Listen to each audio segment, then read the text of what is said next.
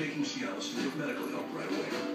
Ask your doctor about Cialis for maybe use on a 30-tablet free trial. All right, if you're thinking about getting a new truck, you're probably thinking about fuel economy. Well, you're going to want some torque to go with it. Because unless you're using your truck to deliver pizzas, you ain't getting anything done without it. Torque is power. It pulls trailers, hauls dirt, drags boulders. Torque is what gets the cap off your beer. And only the Ford F-150 with EcoBoost has the best combination of torque and 2013 Ford F-150. It's one of our favorite races. One of your favorite cities. It's three fast days. And some high-speed nights.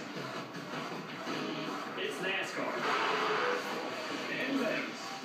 Together for the best weekend of the year. NASCAR and Las Vegas. Together for three amazing days.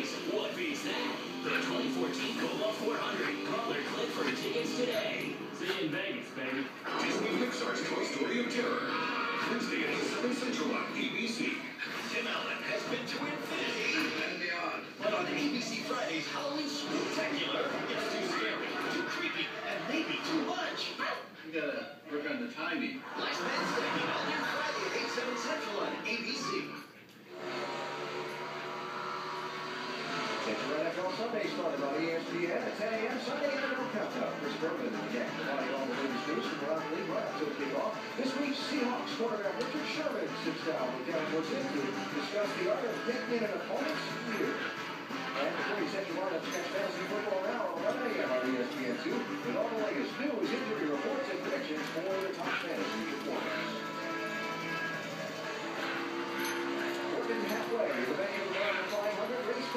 Chase for the NASCAR Sprint Cup. Kasey Kahne leads, Jimmie Johnson second, Kyle Busch third. And that uh, that you were watching was a race for fourth between Dale Earnhardt Jr. and Jeff Gordon. Junior's coming back just a little bit in this latest run.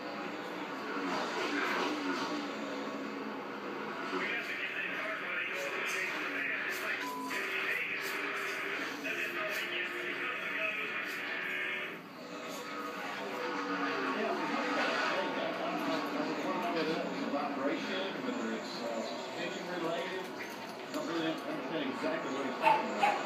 So we could say the handler on Junior's car in this particular one was